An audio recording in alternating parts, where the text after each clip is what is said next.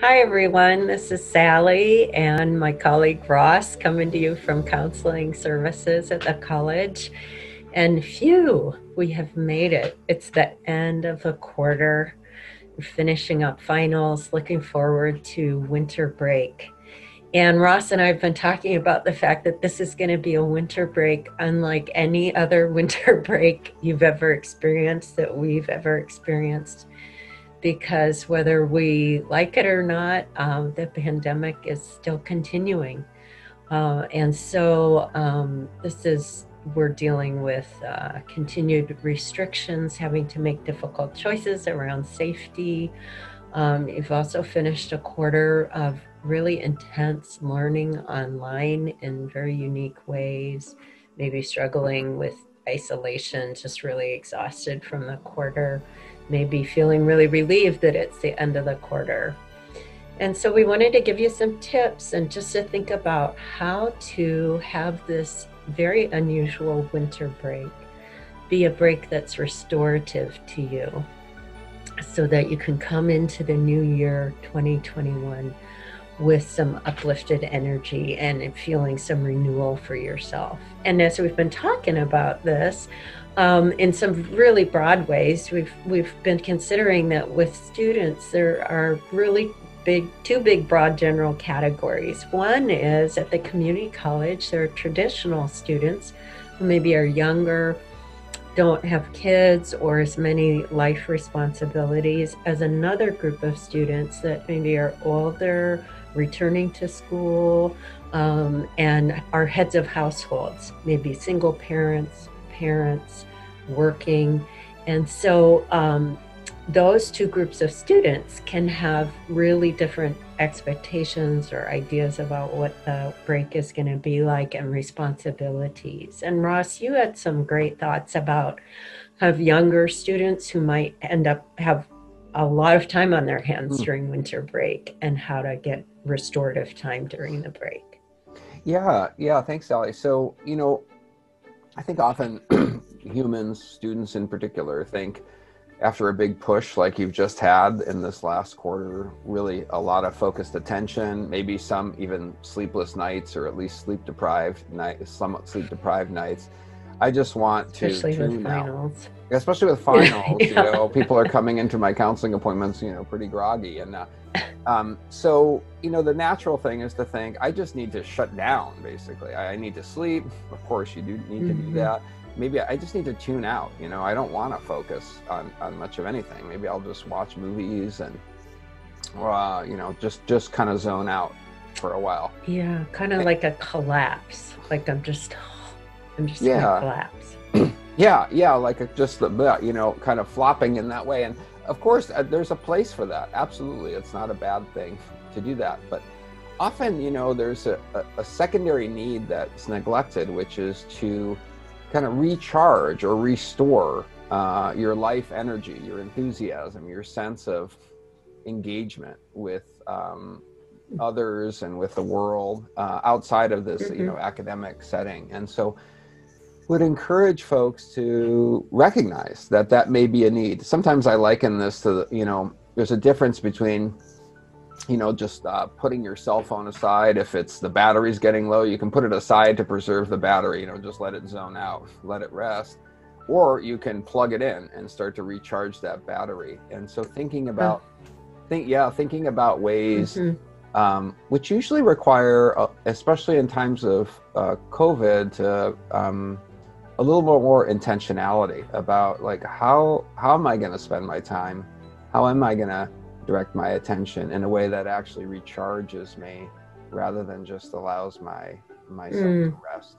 So what might that look like, Ross? Because what I'm if I'm hearing you correctly, you're saying that yes, there's a place for kind of uh, rest, you know, uh, sleeping just uh, really some downtime but that it's and that might be the setting the phone aside but that the break is also an important time to plug the phone in meaning recharging and so what might those activities look like if it's not you're saying don't spend the entire break binging netflix and laying on the couch but so yeah. what to do instead Yeah, so instead of just that kind of, I refer to it as trance, you know, kind of, and I, I do it, you know, getting into the trance of a movie or something like that. Sure. Or, you know, Yeah, Yeah, the so- Queen's Gambit. Queen's Gambit. Yeah, there's a lot of good stuff out there to Yeah, trance out yeah. to.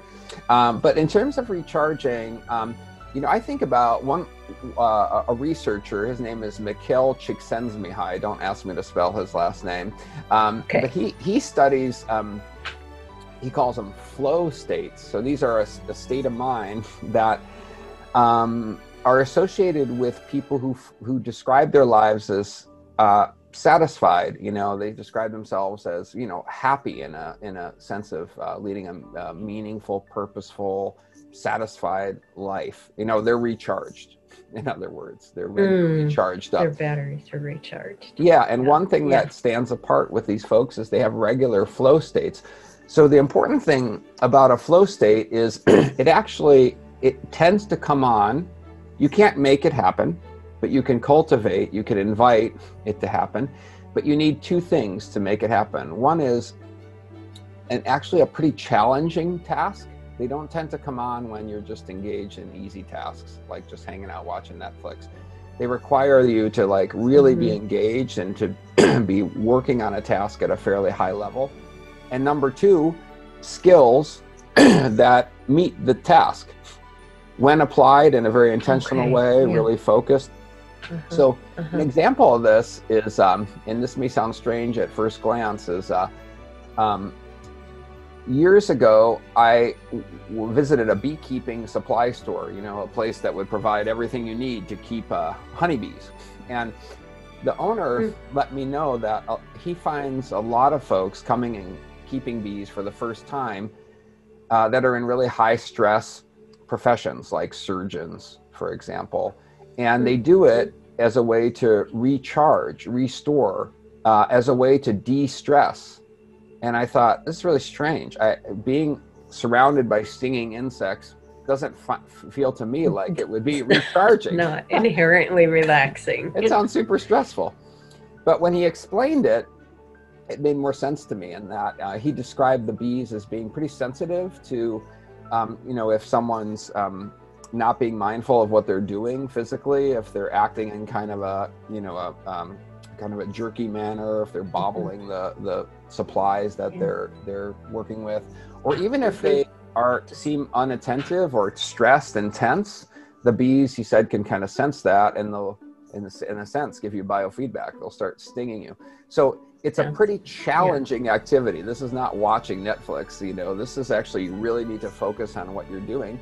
But with beekeeping, unlike surgery, you know, you can develop a, a competence level with that pretty quickly to meet that high level of challenge. And uh, so when Mhm. those two met in the the new beekeepers, what he described is it was it would be very relieving to them because they'd enter essentially they'd enter a flow state. They'd be fully Mhm. focused on what they're doing. Mhm. Typically, when people are in a flow state, time goes away. They kind of forget time, and they're Mhm. just fully engaged in what they're doing in a very active rather than a Mhm. passive way, like watching. Mhm.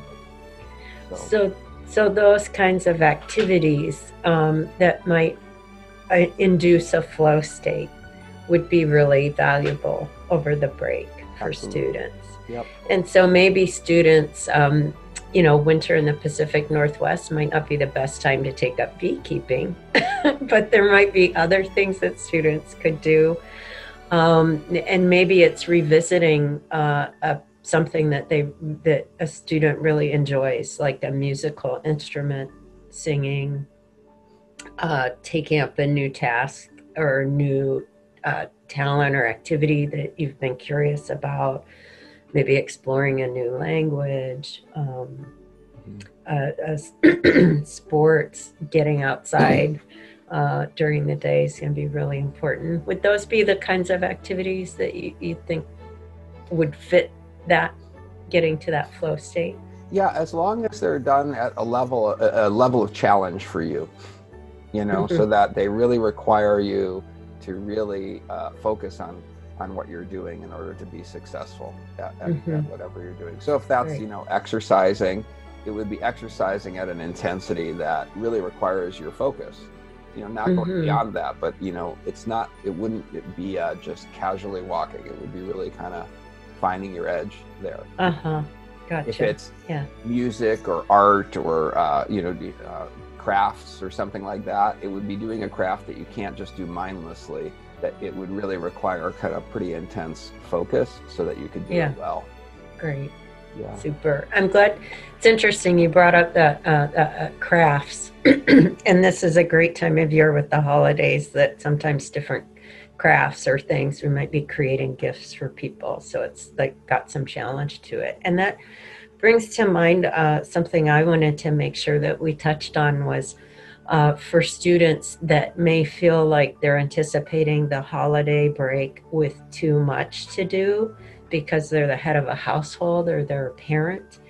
And uh, they're anticipating the holidays and, and this uh, time with covid as struggling to what are the holidays going to look like this year. And and maybe um, having unreasonable pressure or expectation that they're putting on themselves to have this holiday season be exactly like prior ones or to have all the traditions to have it look just the same as it has and um, so that's something I wanted to address, and I know that we've talked about too. Is if you're a student who is in that role. You're the head of a household, you're a parent, you're a single parent, and you're anticipating the holiday and the break and maybe feeling overwhelmed with how am I going to get through this? You know, it's I I might not have the money to get gifts that I typically would or I'm not able to get together with family members because of, you know, physical distancing, the